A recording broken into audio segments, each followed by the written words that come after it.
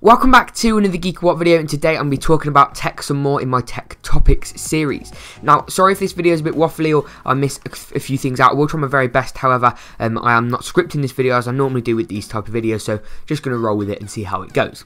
So I get the question very, very often on pretty much every single PC build on my channel with over the thousand views, which is kind of, which is, which is literally every PC build. Um, can I edit on this PC? And in many cases, many of my PCs, yes, you can edit on them uh, and can edit very, very well. However, a lot of my PCs are at the budget end, and this is where the questions start to occur. And maybe this is my fault for misinformation or not providing enough detail. However, and I'll start, I will try to start to elaborate on that. And maybe it's also the fault of other YouTubers such as Scattervolt who, um, uh, if you haven't seen his channel, go and have a look at it, where he says in some of his $300 builds uh, that you can edit because it's a quad-core CPU, and that's completely wrong. And I will do a video about which CPUs are best for editing later on down the line if it's something which is uh, in demand for and something people will watch. However, Editing is one of, if not the most intensive task on a PC.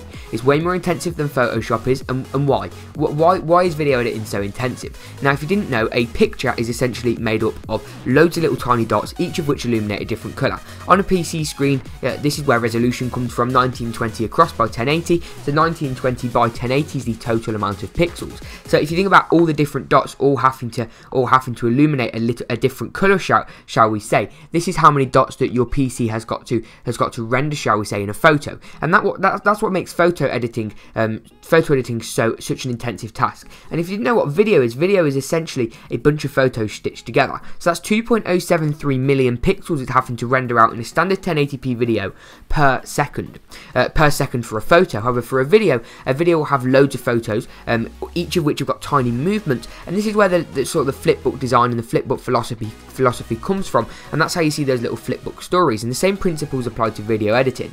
It's essentially between 24 and 60, uh, even even higher in some cases, uh, pictures per second, frames per second. That's where the term comes from. So imagine having to render out 2.73 million pixels 60 times in a second, and that is what makes video editing such an intensive task. You can get away with doing a bit of Photoshop on a really weak machine like an i3 or a Pentium even. However, for videos you're having to render out so many pixels, and with especially the move to higher resolutions, uh, people aren't going to want to edit 720p anymore. Uh, they aren't going to want to edit 1080p anymore. Some people are going to want to edit 1440p and even 4K. 4K editing is the most intensive thing you can do on a computer pretty much, uh, along with 4K rendering.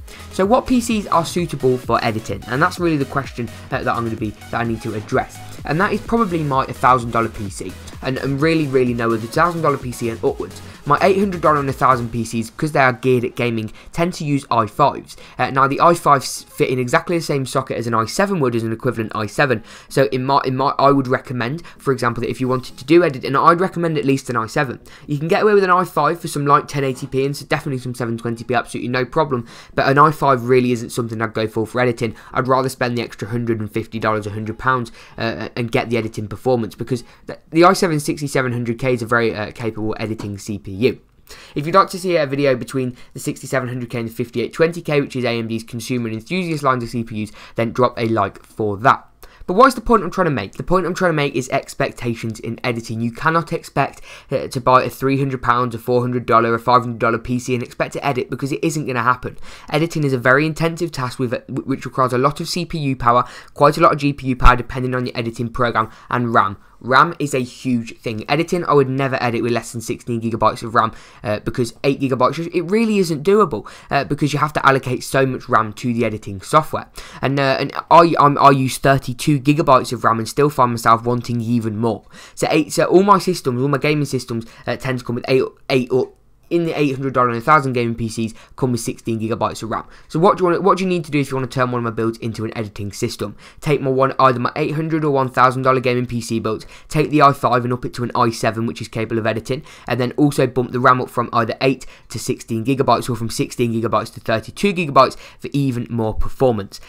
And hopefully you found this video helpful. Sorry if it has disappointed you considering what your expectations were. And that does and I do, I do apologise for that, but I try not to mis mislead people. I'd rather not put in my comments when people ask me questions, is this PC going to edit? I'd rather not lie just to make them smile because they're going to get that PC and it's not going to be able to edit. And a line is not something I do. You can watch Scattervolt's PC builds, not so much Cult of Mush because he's very reliable. However, you can watch Scattervolt's PC builds and he will say you can edit on a $400 PC. And, and you can't. My $400 PC and his $400 PC PCs haven't got a major difference in. His aren't going to edit, and neither are mine, and that's purely because you cannot get that type of thing for $400. If you go and buy a MacBook which is optimized for editing with 16 gig of RAM and i7, you end up paying near enough sort of three, four thousand uh, dollars. So you know $1,000 PC, set your expectations right. 16 or 32 gigs of RAM and a Core i7 at the very minimum, uh, and, and, and that is what you want to go for. If you have found this video helpful, drop a like rating below, make sure to subscribe, and we'll see you in the next GeekaWhat video.